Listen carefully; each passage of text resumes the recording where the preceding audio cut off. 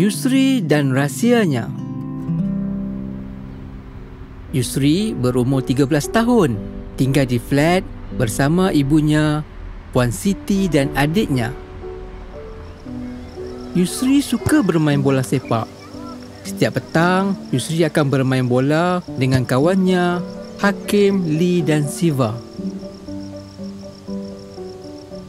Hakim lebih tua daripada Yusri dan kawan-kawannya. Dia selalu melatih mereka bermain bola. Mereka menganggap Hakim sebagai abang. Baru-baru ini, Hakim memberi perhatian istimewa kepada Yusri. Yusri sangat gembira. Suatu petang, Hakim mengajak Yusri ke rumahnya untuk bermain game di telefon.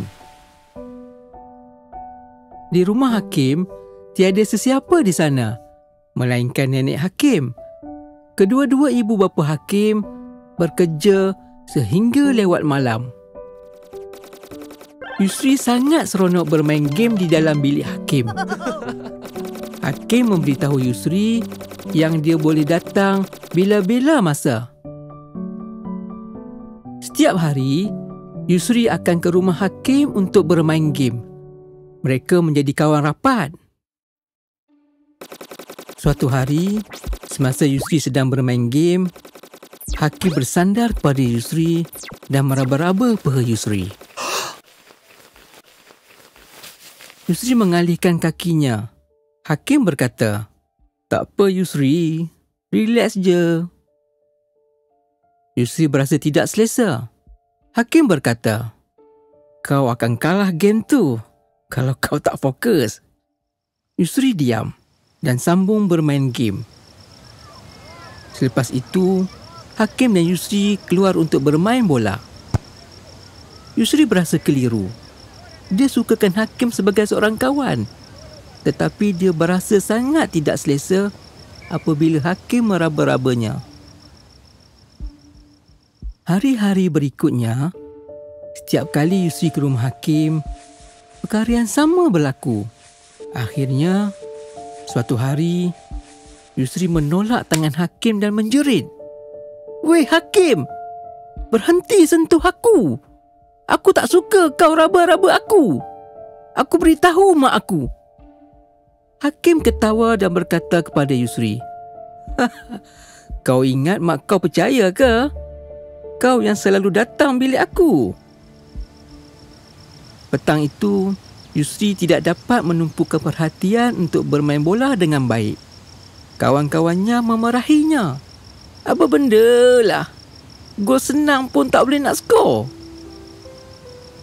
Keesokan harinya, Yusri tidak pergi ke rumah Hakim. Namun, apabila dia pergi bermain bola pada waktu petang, Hakim menunggunya di situ. Hakim berbisik kepada Yusri. Kau pergi mana hari ni? Baik kau datang rumah aku esok.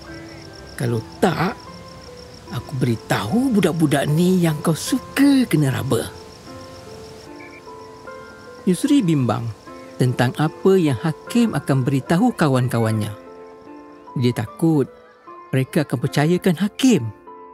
Jadi, dia tetap pergi ke rumah Hakim. Puan Siti sedar Yusri menjadi pendiam. Dia tidak lagi bermain bola dengan kawan-kawannya dia juga tiada selera makan. Suatu petang, Siva dan Lee datang melawat Yusri. Mereka bertanya kepadanya, Bro, lama tak nampak kau main bola? Yusri diam. Siva berkata, Sejak kau tak ada, Hakim masih melatih kami. Kemarin, dia ajak aku pergi ke rumah dia main game. Baik kau jaga-jaga, Siva. Hakim tu bukan orang baik, kata Yusri. Apa maksud kau? Tanya Siva. Lee berkata, Apa benda Yusri? Apa masalahnya? Yusri dengan perlahan berkata, Kat rumah Hakim, dia raba-raba aku. Aku suruh dia berhenti, tapi dia tak nak. Dia kata, kalau aku tak pergi rumah dia, dia akan beritahu orang yang aku suka kena raba. Siva dan Lee terkejut. Lee bertanya, Betul ke Yusri? Dia buat benda-benda tak elok kat kau. Yusri mengangguk. Siva berkata, Yusri, ni benda serius ni. Baik kau beritahu mak kau. Yusri berasa sangat serba salah. Dia tidak tahu bagaimana untuk memberitahu ibunya. Dia juga risau tentang apa yang hakim akan cakap.